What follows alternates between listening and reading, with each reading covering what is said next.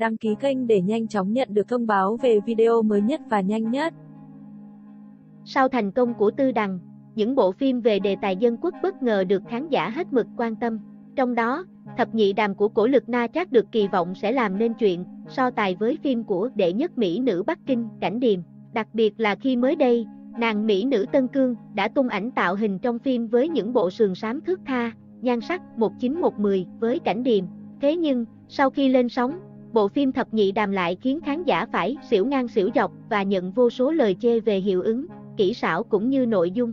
Thậm chí, có ý kiến cho rằng, cảnh điềm cho cổ lực na trác hít khói mất rồi. Nội dung của nhị thập đàm xoay quanh mối tình giữa nàng yêu tinh dạ minh, cổ lực na trác và kim tính kiên, lưu dĩ hào, Mỹ Nam 2000 tuổi hóa thân từ đá nữ hoa, mang trong mình sức mạnh nửa thần nửa yêu. Bộ phim đánh dấu sự quay lại màn ảnh nhỏ của cổ lực na trác sau thời gian dài vắng bóng và có cả sự góp mặt của bạn trai quốc dân, Lưu Dĩ Hào. Chính vì lý do này, tác phẩm được khán giả hết mực ngóng trông.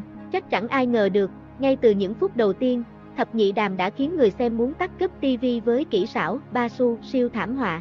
Trong khung cảnh bờ biển, ảo tung trảo, hình ảnh hai tiên cá với chiếc đuôi, thật chân, khiến quần chúng thích ăn dưa phải hết hồn vì cứ ngỡ xuyên không về hàng chục năm trước, khi mà các phần mềm chỉnh sửa, ghép cảnh còn chưa phát triển, thậm chí, bộ phim thập nhị đàm còn lọt thẳng vào tốt tìm kiếm trên mạng xã hội vì kỹ xảo, ba xu, khó tin đến vậy, không chỉ vấn đề hậu kỳ, nội dung của thập nhị đàm cũng còn nhiều điều thiếu sót. Đầu tiên, phải kể tới việc bộ phim đi vào lối mòn xưa như trái đất, đó là mô tiếp tổng tài bá đạo và ngốc bạch ngọt. Cụ thể, sau khoảng 1.000 năm yêu hận đang xen, Dạ Minh và Kim Tính Kiên cùng đi vào thời dân quốc.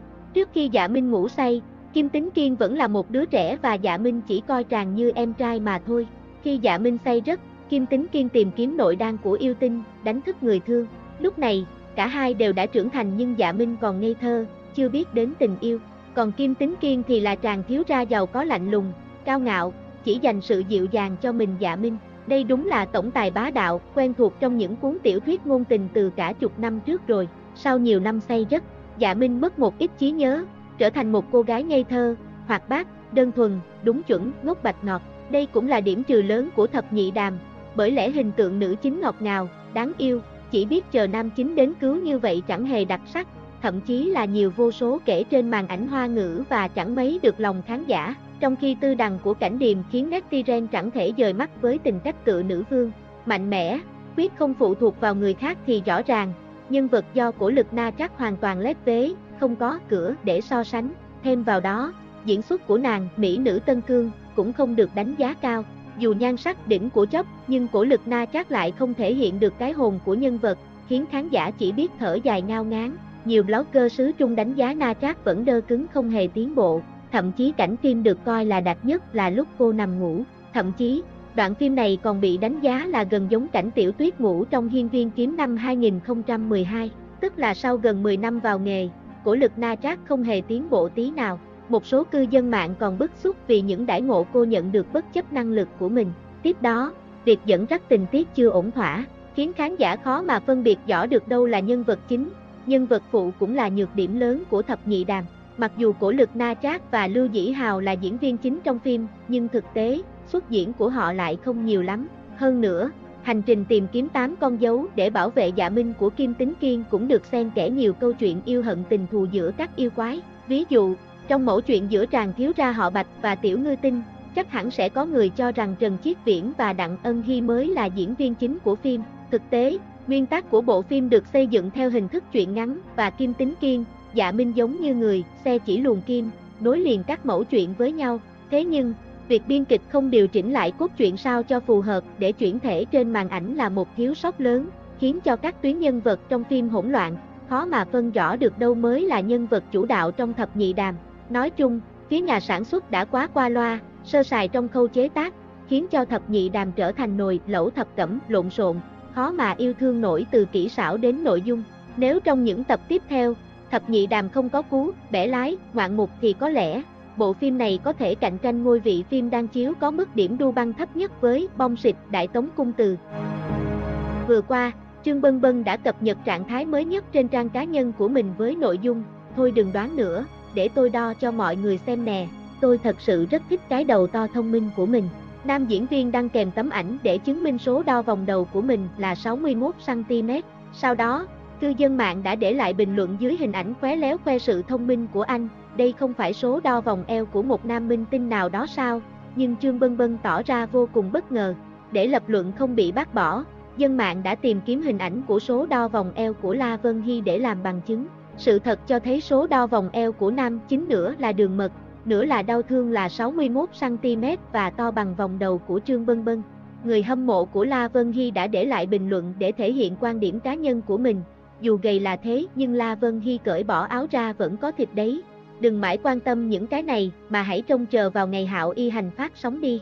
Có khá nhiều minh tinh có số đo vòng eo này mà, đâu phải mỗi mình La Vân Hy đâu nhỉ. Mới đây, trên Weibo của Tencent, Đằng Tấn đưa tin bộ phim Ngọc Cốt Giao của cặp diễn viên tiêu chiến, nhậm mẫn thủ vai đã chính thức khởi quay. Không lâu sau đó, poster đầu tiên về tạo hình hai nhân vật chính trong phim cũng được hé lộ. Trong poster, tiêu chiến xuất hiện trong bộ trang phục trắng thuần, trên tay cầm một cuốn sách cổ, ánh mắt hướng ra xa. Tạo hình mới đẹp tựa tiên tử của tiêu chiến khiến người hâm mộ xuất xa, khen ngợi nhân vật thời ảnh trong phim còn đẹp hơn cả nhân vật Ngụy Anh của Trần Tình Lệnh. Kèm theo hình ảnh được đăng tải về tiêu chiến trong phim là dòng chú thích, người khoác ánh sao phiêu nhiên đến, hắn là thần quan bạch y thanh thoát, thời ảnh. Bên cạnh đó, đoàn phim cũng chia sẻ bức ảnh của nữ diễn viên nhậm mẫn trong tạo hình nữ chính Chu Nhan. Ngọc Cốt Giao được xem là tác phẩm cổ trang đầu tiên mà tiêu chiến tham gia sau khi nổi tiếng với vai ngụy vô tiện trong Trần Tình Lệnh. Trước đó, các phim Lan Điện Hạ, Chu Tiên, Đấu La Đại Lục đều đã được bấm máy trước khi Trần Tình Lệnh công chiếu. Với độ nổi tiếng hiện tại của tiêu chiến, chắc rằng Ngọc Cốt Giao sẽ là dự án được đầu tư công phu, thu hút sự quan tâm của đông đảo khán giả. Qua hình ảnh poster đầu tiên, Phan hy vọng vai diễn cổ trang này của tiêu chiến sẽ thật thành công, thậm chí vượt qua cả cái bóng ngụy vô tiện trước đó của anh chàng Ngọc Cốt Giao là bộ phim kể về quận chúa sích tộc nhiệt tình trường nghĩa Chu Nhan, nhậm mẫn, cùng thế tử không tạng cao ngạo thanh lãnh thời ảnh, tiêu chiến, tạo ra một mệnh kiếp tình duyên, trời xui đất khiến họ ở bên nhau làm sư đồ trong suốt 3 năm, tà ác trỗi dậy, không tan sẽ vong. Thời ảnh nhầm tưởng rằng chỉ viên, người bạn giao nhân lớn lên cùng Chu Nhan là Hải Hoàng nên đã tự tay phong ấn chỉ viên lại vì thế để trả thù cho chỉ viên. Chu Nhan đã đem ngọc cốt giao hướng về phía thời ảnh, lời tiên tri đã ứng nghiệm. Chu Nhan thề sẽ dùng tinh hồn huyết hồi sinh thời ảnh. Sau khi thời ảnh tái sinh đã đưa cho Chu Nhan chìa khóa giải phong ấn cho chỉ viên bởi vì hắn cuối cùng cũng hiểu ra vận mệnh của một người đều có thể bị điều khiển bởi vô số thể lực huống chi là vận mệnh của một quốc gia. Hiểu lầm giữa hai người cuối cùng cũng được giải trừ, họ bắt đầu nắm tay cùng nhau chống lại kẻ thù chân chính đứng sau lưng bằng tộc lên kế hoạch hủy diệt không tạng. Trong nguyên tác, thời ảnh một mình cân ba vai, hơn nữa thiết lập tính cách còn hoàn toàn khác biệt, một là đại thần quan sư tôn, lạnh lùng cấm dục thâm tình, hai là thái tử cung đình tâm địa xấu xa, ba là phản nghịch bệnh kiều hắc hóa, có ngoại hình y hệt nam chính. Điều này đồng nghĩa với việc rất có thể, khi chuyển thể thành phim, một mình tiêu chiến cũng sẽ cân một lúc ba vai giống như nguyên tác. Đây có lẽ vừa là áp lực, vừa là cơ hội để nam diễn viên thể hiện được nhiều sắc thái trong diễn xuất của mình. Trước khi thông báo chính thức về bộ phim mới, đã có rất nhiều tin tức liên quan trên mạng. Tuy nhiên, fan của tiêu chiến với quan niệm không có thông báo chính thức thì không chính xác nên luôn không tin vào những lời đồn vô căn cứ. Cho đến khi đoàn phim, diễn viên và phòng làm việc của họ lần lượt thông báo chính thức, độ quan tâm đã tăng vọt nhanh chóng. Tin tức này không chỉ trực tiếp xuất hiện trong danh sách lượt tìm kiếm nhiều nhất mà còn thu hút sự quan tâm rộng rãi của cư dân mạng nước ngoài. Sau khi tài khoản Weibo chính thức của đoàn phim Ngọc Cốt Giao đăng thông báo, số lượng fan theo dõi đã tăng lên 310.000 người chỉ sau 10 giờ. Trong đó, thông báo đầu tiên là về nam chính tiêu chiến, lượt chia sẻ trực tiếp vượt qua 1 triệu. Phải nói rằng trong nhiều bộ phim mới được công bố chính thức, những bộ phim có độ quan tâm cao như vậy không tính là nhiều. Có thể là do tiểu thuyết nguyên tác quá kinh điển hoặc do các diễn viên quá nổi tiếng, hiệu ứng tiêu chiến không chỉ là nói không, mà còn phản ánh tất cả mọi việc về anh. Trước sự nổi tiếng của anh, nhiều cư dân mạng không khỏi đăng bài hỏi rằng, ai có thể đánh bại được tiêu chiến. Rất nhiều người nóng lòng, mong muốn được nhìn khoảnh khắc Vương Nhất Bác và Tiêu Chiến một lần nữa hợp tác cùng nhau hay chỉ đơn giản là tái ngộ trên sân khấu. Kể từ sau sự cố 227 khiến Tiêu Chiến bị tẩy chay vào năm ngoái, Tiêu Chiến và Vương Nhất Bác đã không còn đứng chung sân khấu hay hợp tác với nhau lần nào nữa. Tuy nhiên, giờ đây sóng gió đã qua đi, sự nghiệp của Tiêu Chiến đã trở lại bình thường, trong khi Vương Nhất Bác liên tục nhận những dự án mới. Vì vậy, fan hâm mộ càng nuôi hy vọng được chứng kiến cả hai hội ngộ trong một ngày không xa. Hôm qua, Tài khoản Weibo chính thức của GoFactory Film Channel, một trong những chương trình trực thuộc Tencent, đã phát động một chủ đề trên Weibo. Hãy nói đôi lời về sự mong chờ của bạn.